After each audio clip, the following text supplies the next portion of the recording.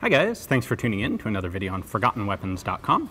I'm Ian McCollum and I'm here today at the Rock Island Auction Company taking a look at some of the guns that they're going to be selling in their upcoming May of 2017 premiere auction. Today we're taking a look at a pretty modern submachine gun actually. Um, certainly any viewers in Italy will think that this is in no way a forgotten weapon because this is in fact still a standard issue weapon with the Italian military and a variety of Italian police forces.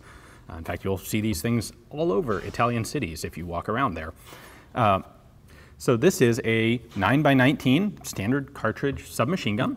Uh, weighs in at right about uh, six and a half pounds, three kilograms, fires at about 550 rounds per minute and it is the result of Beretta moving away from the designs of Tullio Marengoni. Now, Marengoni had designed like everything Beretta made, at least in pistols and submachine guns, for many decades. He was responsible for Beretta's whole line of automatic pistols, uh, and also the submachine guns that they had from basically the end of World War I up into World War II. So that the Beretta 38 slash 42 slash 44 series, very well liked submachine guns in World War II, those were all Marengoni's design.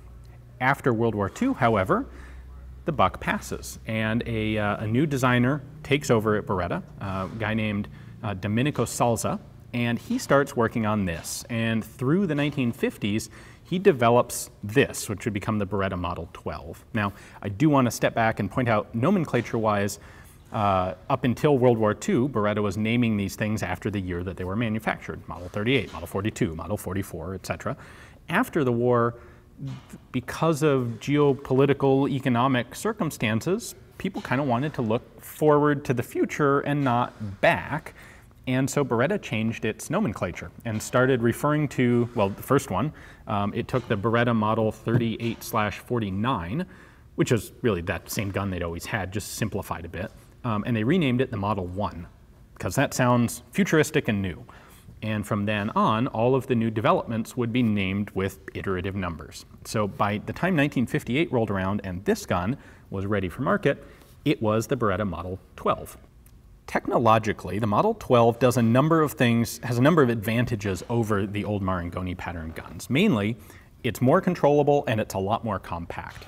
And the reason that was possible was because Domenico Salza used a, what we call it, sort of a telescoping bolt design. This is something that you would also see in uh, the Czech pattern 24 and 26 submachine guns, and most famously in the Israeli Uzi submachine gun.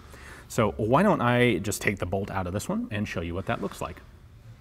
So the Beretta is a very nicely finished gun, despite the fact that it is a basically a stamped tube receiver submachine gun, uh, but a good deal of fit and finish, a good deal of attention was paid to the fit and finish here.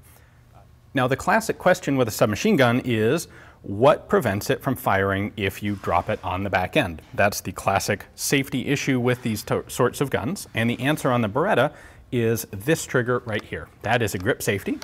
And when it is not engaged, it actually locks the bolt if it's in the forward position. So I cannot pull the bolt back unless I depress the grip safety.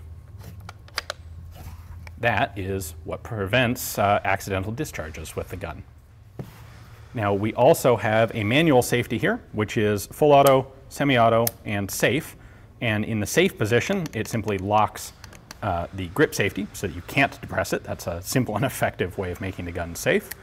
Um, the original Beretta Model 12 actually had a push button safety the 12S is the more modern upgraded version with this rotating lever safety. All of them, however, have a paddle magazine release right here at the back. Comes out. A very good magazine design. It is a double feed magazine.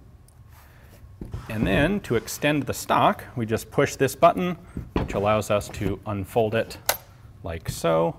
And then this button here allows the butt plate to fold down. If there is a not particularly great feature of the Beretta 12, it is that stock. Uh, it is offset, so it's really only comfortable for right-handers, and it's a pretty thin and kind of uncomfortable stock to use. It does work, but it could be nicer. Now there are two stages to disassembly here. We have to take both ends off of the receiver.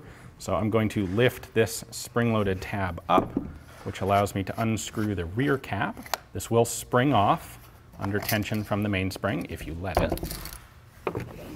We'll pull out the mainspring.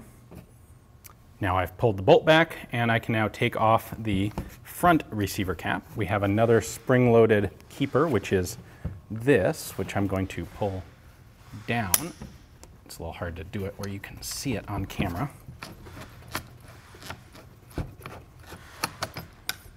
All right, there we go.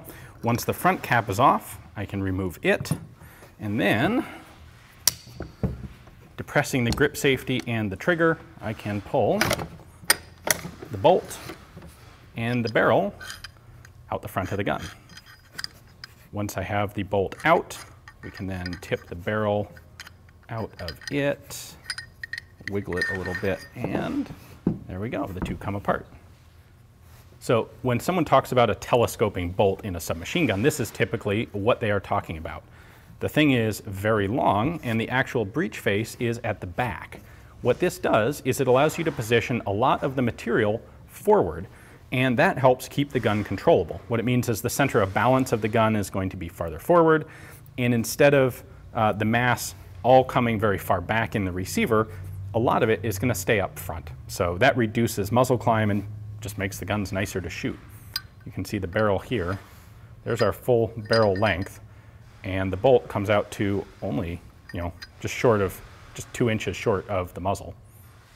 So when you combine the forward mass of the bolt with a vertical forward pistol grip, um, the, this gun really is a remarkably controllable gun. It's generally well liked by the people who use it. Of course, all submachine guns really do require quite a bit of practice to become very proficient with, but the Beretta 12 is a, a pretty good one if you've got your choice. Uh, I believe there are some modern adaptations to allow it to use optical sights. Uh, in this standard original configuration, it's iron sights only, but even that at submachine gun ranges is really not that much of a problem. Uh, this is a really gorgeous, looks like virtually unused. Um, I'm sure it's been fired a little bit, but not a whole lot. This thing has been babied. Great example of a Beretta PM12. And these really are a quite good modern submachine gun. Uh, the downside, it, well, it is coming up for sale here, but the downside is it is a dealer sample. So if you have the license to purchase and possess a post-sample machine gun, then take a look at the description text below. You'll find a link there to Rock Island's catalog page on this guy, and you can look at their pictures and description and everything else necessary to place a bid on it. If you are just a regular dude like me and you are only able to own transferable machine guns, well, you might be interested in taking a look at this one anyway, just to get a feel for what some of the dealer sample guns look like and sell for. Thanks for watching.